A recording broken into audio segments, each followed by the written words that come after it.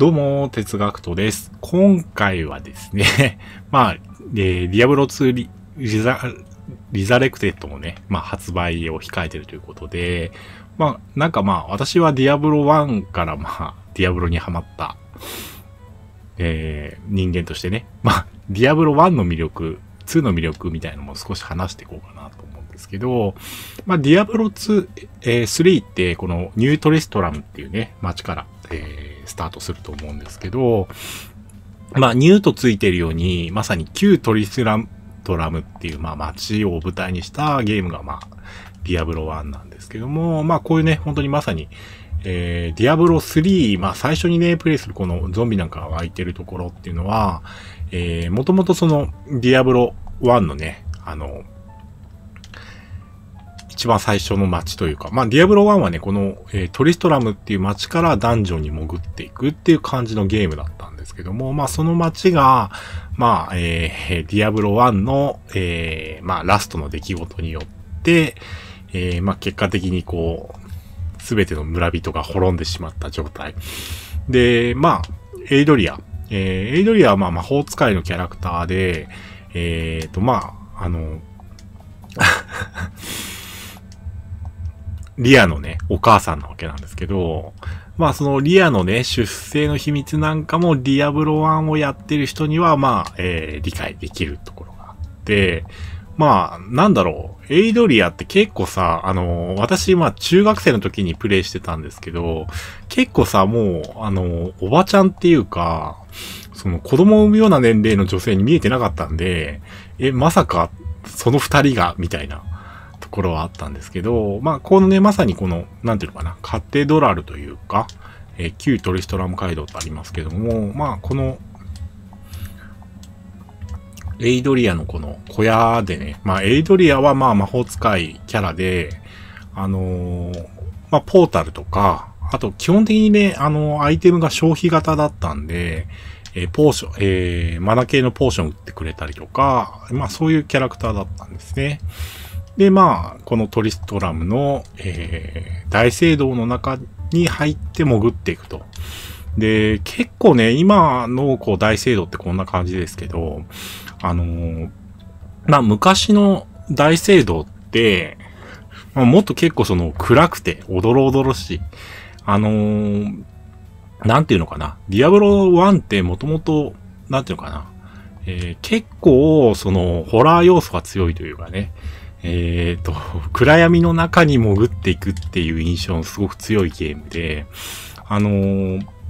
で、あとですね、まあ、敵もこういう風になんていうのかな、無双していくゲームっていうよりは、えー、まあ、ちゃんと考えて、こう自分が有利なね、ところに置い、位置取りしていかないと、えー、なかなか攻略できないぐらいの、えー、難易度感だったのかなっていう感じはしますね。で、基本的に、まあ、えー、4ステージ、えー、まあ、地下にずっと潜っていくと。えー、地下16階まであって、まあ、16階にディアブロがいるわけなんですけども、えー、まあ、4ステージごとに、えー、こう雰囲気が変わっていくと。最初は、えー、大聖堂で、まあ、ブッチャーとかね、あとレオリッコーなんかが、えー、途中のボスでいたりとかするんですけども、そこを潜っていくと、えー、次は、えー、カタコンベっていう、まあ、いわゆるこう、遺体アンチ、てかまあ、あの、洞窟みたいなステージになってくるんですね。で、次に、えっ、ー、と、溶岩地帯みたいなところがあって、なんていうのかな。まあ、地獄の釜みたいなところがあるんですね。まあ、そこなんかは、今のイメージで言うと、そうだな、えっ、と、あそこの、アズモダンなんかがいるようなステージに、えー、似てるかな。えー、ただまあ、溶岩地帯のステージなんで、あんまり、まあ、もしかすると、今の感じとは違うかもしれない。ですね。で、結構、まあ、戦略性が大事って言ってたんですけど、まあ、シフトキーで立ち止まったりとかできるんで、まあ、ドアの前でね、待って、こう、敵をおびき寄せて、そこの一本道のところでね、敵を倒したりとか、あとね、やっぱりその遠距離系の凶悪な敵もたくさんいて、あのー、まあ、ゲロ犬と呼ばれる、通称ゲロ犬と呼ばれるね、えー、犬の群れで、しかもこう、攻撃が連鎖してくる、えー、3の、えー、攻撃をしてくるやつとかは、かなり凶悪だったイメージがあります。あのー、なんていうかまあ、数が揃っちゃうと、まあ、その、砲台みたいな感じになっちゃって、えー、まあ、こう、こちら側が溶けてしまうぐらいのね、難易度になっていて、まあ、とにかく、その、いかにこう、マップの、えー、地形を利用して、えー、うまく立ち回るかっていうところが一つの、えー、攻略のポイントになっているようなゲームだったかなと思います。で、まあ、ステータスなんかもね、今みたいな、こう、レジェンダリーみたいのは、あ、レジェンダリーアイテム一応あるのかな？はあるんですけども、まあ、入手も結構大変だし、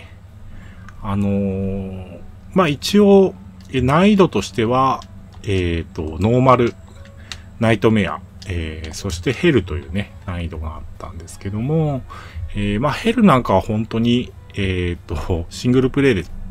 えー、クリアするのなかなか難しい難易度になってて、でまあノーマルですらね、やっぱり、えー、最後の方は結構頭を使わないと勝てなくなってくるっていうところがあって、えー、まあ結構今やってもね、えー、楽しめるゲームだし、まあそもそもゲーム性がね、えー、1、2、3とかなり違うので、えー、まあ楽しいかなと思います。まあ、ディアブロ3でもね、あのー、1月限定でアニバーサリーダンジョンっていうやつで、えー、ディアブロ1のね、えー、マップをプレイできるんですけど、えー、あれやると結構、えー、当時の雰囲気なんかも伝わってきて楽しいんじゃないかなと思いますので、まあ、ぜひね、ディアブロやられてる方は1月になったらアニバーサリーダンジョンっていう、ってみるといいかなと思います。アニバーサリーダンジョンの入り方とかやり方に関しては、えー、まあ、えー、私が過去に上げてる動画ありますので、初心者講座のね、再生リストの方を掘っていただくと、そこに、えー、ありますので、ぜひね、見ていただくといいかなと思います。まあ、ディア、えー、プレステのね、本体を1月1日とか、えー、に合わせると、えー、今でもまあ、なんていうかな、できるけど、まあ、それやって他に影響出ちゃうと嫌だから、えー、まあ、1月、新年の楽しみの一つとして、まあ、毎年一回楽しむっていうのが、まあ、えー、成功法かなとは思いますけど、あの、アニバーサリーダンジョン、ぜひプレイしてみていただけるかなと思います。まあ、ディアブロ1は本当にね、なんていうか、まあ、ハクスラゲの走りというか、あのー、なんていうのかな。こう、マウスとキーボードでね、こうグラフィカルな感じでプレイできるハクスラっていうことで、えー、まあ、本当にこのジャンルを開拓してくれたゲームっていう感じだったんですよね。でまあ、その後結構、えー、韓国とか、えー、中国とかね、そういうところで、まあ、ディアブロライクなゲームってたくさん出てたんですけど、えー、まあ本当に、えー、過労死しちゃう人が出ちゃうぐらい、えー、まあ、一大ブームというのかな。うん。あのー、多分ね、ディアブロをやってた世代って、ちょうど、まあ、今になって聞いてみると、まあ私よりも上で社会人の方々とかも、ディアブロ1懐かしく思ってる方結構いるみたいなんですけど、まあちょうど Windows 90、えー、Windows 3.1から95に切り替わるあたりに出たゲームだったのかな。えー、で、まあ当時は本当にメモリが 16MB とかそういう時代なんで、まあかなり今でもサクサク動くし、あのー、まあ PC 版のディアブロやられてる方はブリザードのサイトから、え、ダウンロード版購入することもできるんで、ディアブロ1も、えー、プレイしようと思えばプレイできるんですけどね。あのー、まあかなりさ、軽量にもうもはやね、今となっては、えー、かなり快適に動くんじゃないかなと思います。まあ、Windows 95のパソコンでもかなり快適に動く、えー、タイプのゲームではあったので、えー、まあ、私も中学時代、本当に ハマって、で、本当にね、中学の頃一緒にディアブロ1をプレイした友達とは今も、えー、つながりがあって、あの、ディアブロ3もね、えー、まあ、プレステ版で私やってるよって話をしたら、プレステ版を購入してくれて、えー、たまにこう、えー、一緒にプレイしたりとかすることもあるわけですね。あのー、まあ、本当になんていうのかな。まあ、私にとっては結構、こう、あんまり私、コンシューマー系のゲーム、えー、いわゆる、えー、ファミコンとか、えー、スーファミとかってうちになかったんで、まあ、パソコンゲームでゲームに入ったってとこあるんで、あのー、ディアブロ1はかなり思い入れのあるゲームかなと思います。えー、プレイもたくさんしたしね、あのー、まあね、えー、結構私も、なんだかんだでね、勉強とかそういうのに行ってたから、本当にディアブロをプレイするっていうなんか密かな楽しみ感があって、えー、よかったなって感じですね。で、まあ、その同時代に出てたのが、まあ、ウルティマオンラインっていうゲームが、えー、あって、まあ、ウルティマも結構やって、ウルティマはいろんなスキルがあったりとかね、まあ、今の MMORPG の走りみたいな感じのゲームなんですけど、あの、かなりそちらも、まあ、こういうハクスラタイプというか、斜め見下ろし型の RPG っていう意味で、えー、まあ、ディアブロを超えるゲームとも言われてましたが、やっぱりどっちもね、楽しくて。で、まあ、ディアブロの魅力っていうことで言うと、あのー、本当にね、なんていうのかな、やっぱおどろおどろしい雰囲気でありながら、こう、いろんな、えー、まあ、戦略性とかね、あの、さっき言ってたような戦い方の工夫をしながら攻略していくってとこもあったし、まあ、かといって、まあ、中学生の英語力で、えー、プレイできないゲームってことはなくて、えー、まあ、ある程度ちょっともしかすると、まあ、中学生だったんで、あの、当時やっぱり、Windows 系の雑誌とかで特集されてたのが知ったきっかけだったのかな。あのーテックウィンっていう雑誌があったんですけど、まあ、その雑誌でディアブロ3、ディアブロっていうゲームがすごい面白いよっていう特集があって、それでなんかソフマップにパッケージを買いに走った記憶があるんで、あの、まあ、かなり楽しかった、ディアブロは。あの、まあ、攻略情報も自分で集めなきゃいけなかったし、あの、なんか結構凶悪なモンスターいて、えっ、ー、とね、黄色いえっ、ー、とね、ゾンビなんだけど、黄色いゾンビに攻撃されると、なんと、えー、恒常的にライフが1ポイント削られてしまうという、えー、HP の最大値が減るっていうモンスターとかいて、えー、まあ、かなり要注意な、え、モンスターと言われたりとかもしてたんだけど、まあ、ライフとかね、えっ、と、マナの上限も、えっ、とね、アイテムで強化もできるし、できるんだけど、まあ結構その、今ほどそのステータスの、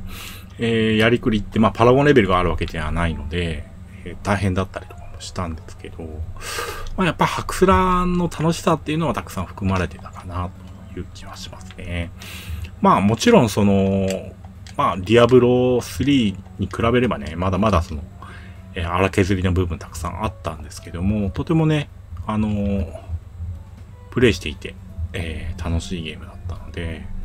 あの、ぜひね、まあ、今ネット購入とかできると思うんで、え興味のある方はね、プレイしていただければなっていう気がしますね。あのー、まあ、今多分プレイすると1日でね、多分ディアブロを倒すところまでいけると思うし、えー、5、6時間あればね、多分いけるんですけど、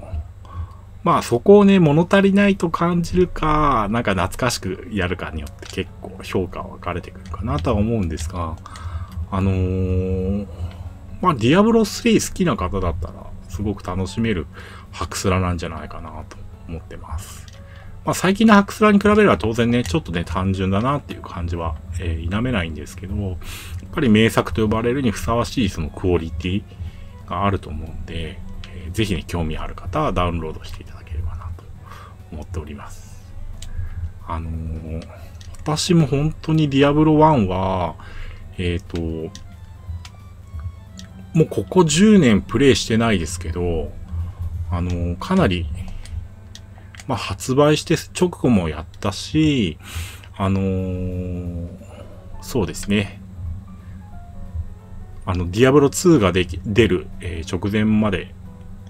えー、何かにつけてやってたんで、すごくね、私にとっては印象深いゲームですね。中学生の頃にハマった思い出のゲームっていう感じですかね。